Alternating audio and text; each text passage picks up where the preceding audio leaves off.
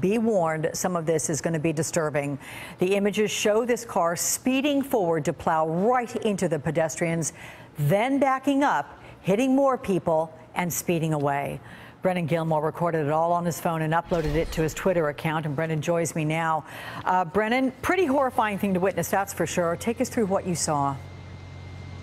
Uh, yes, absolutely terrifying uh, scene. I had was filming actually uh, a peaceful, nonviolent march of anti-racist protesters who were coming up a very narrow street.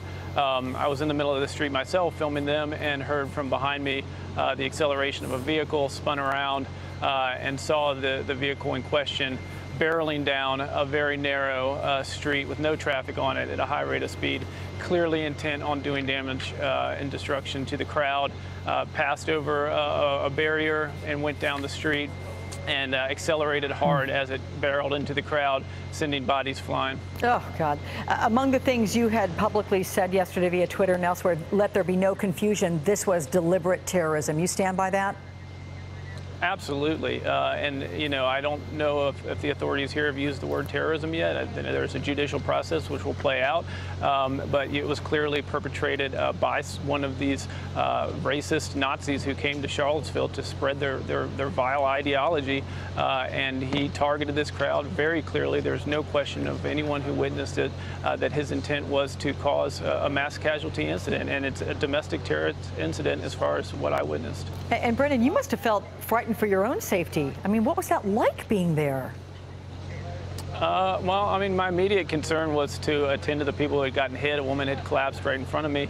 Uh, so after I stopped filming, I, um, I gave her first aid best that mm. I hmm. could. The police were very quick uh, on the scene. First responders were on the scene quite quickly as well. Um, you know, but it was a, it was a terrible situation, and my heart goes out to the family of, uh, frankly, a, a, martyr on the side of the anti-racists uh, who gave her life uh, fighting against this this hatred and, mm. and, and, and racist ideology. You know, this wasn't the only scene that you recorded that was uh, horrible. You recorded fights breaking out in the crowd earlier in the day. So talk about police presence. What did you see in that regard?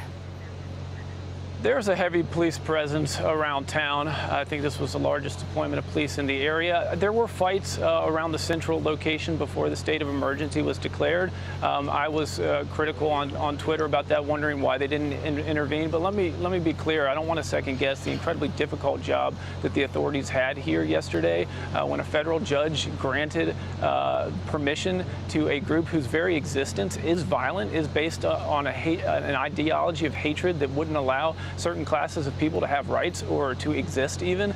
Uh, and, you know, this, the, the, the legal uh, authority let them come to a very compact, uh, tight part of town. Um, so, you know, the police had a, a, very difficult job to do. Once the state of emergency was declared, they moved in very quick to disperse mm -hmm. these crowds.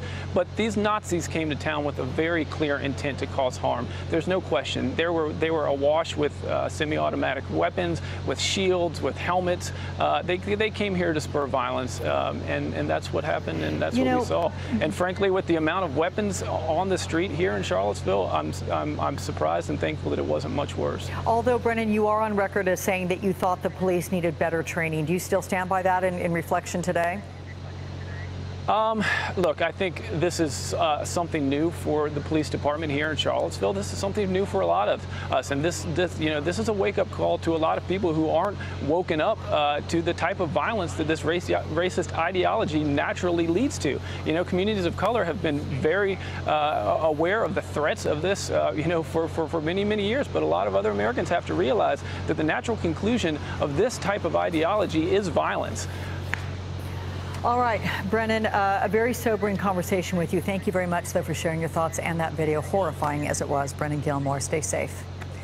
Hey there, I'm Chris Hayes from MSNBC. Thanks for watching MSNBC on YouTube. If you want to keep up to date with the videos we're putting out, you can click subscribe just below me or click over on this list to see lots of other great videos.